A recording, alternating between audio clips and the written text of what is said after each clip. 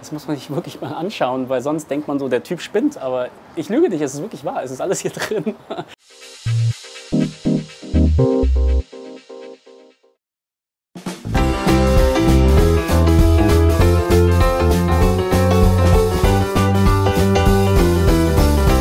Dieses Tiny House ist 2,55 Meter breit, weil äh, die Straßenverkehrsordnung das so will. Breiter darf man nicht auf die Straße.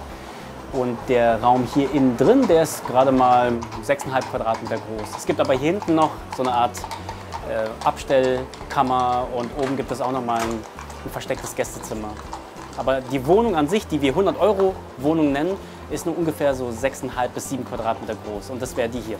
Wir haben hier eine Deckenhöhe von 3,60 Meter und das haben die meisten Neubauten nicht. Also es wirkt klein, ist aber in manchen Punkten sehr viel luxuriöser als jeder Neubau. Ja, die Leute sind irgendwie äh, sehr, sehr neugierig, ne? weil die schon irgendwie auch hinter so einer Holzfassade dann irgendwie äh, irgendwas Heimeliges erwarten, irgendwas Kleines, aber wenn sie dann drin sind, dann wirkt es doch sehr viel größer. Ich meine, das, das äh, hat ja äh, eine Küche und auch ein Badezimmer und sogar noch oben ein Büro und noch ein Schlafzimmer und hier vorne halt eine Wohnküche und das alles nur auf sieben Quadratmeter. Das glauben viele nicht.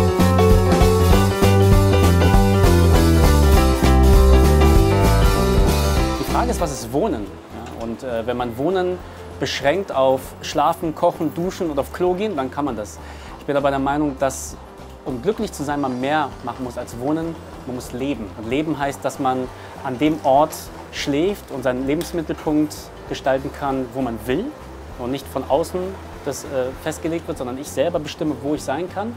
Das hat was mit Mieten zu tun, dass ich mir das leisten kann. Das zweite ist Gemeinschaft, dass ich die Möglichkeit habe, in der Nähe von, von Leuten, die ich mag, denen ich vertrauen kann, zu sein.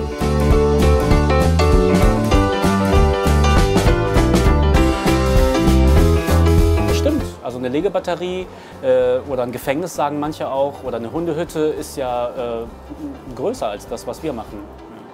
Aber äh, mich überzeugt dieses Argument nicht, weil die, die schönsten Momente hatte ich im Urlaub in einem Zelt ne, oder im, im, Auto auf der, auf der Highway One äh, an der Küste von Kalifornien. Und so ein Auto hat sehr viel weniger Quadratmeter als das und ein Zelt hat noch weniger Quadratmeter. Also die Quadratmeter, die Größe ist nicht entscheidend dafür, ob ein Mensch sich wohlfühlt. Das sind andere Dinge. Mein Traum ist, dass jeder Mensch wohnen kann, ohne einen Cent zahlen zu müssen. Bedingungsloses Grundwohnen nenne ich das. Und man kann sich das jetzt noch nicht vorstellen, aber mit dem Wasser konnte man sich das ja auch noch nicht vorstellen vor 50 Jahren. Und jetzt ist das Realität. Jeder hat Wasser und Trinkwasserqualität sofort aus, dem, aus, der, aus der Wand. Und ich denke, es ist nur eine Frage der Zeit und irgendwann wird man Essen und Wohnen zu Grundnahrungs- äh, oder zu Grundbedürfnissen zählen, die geschützt werden müssen, die frei sein müssen von Spekulationen.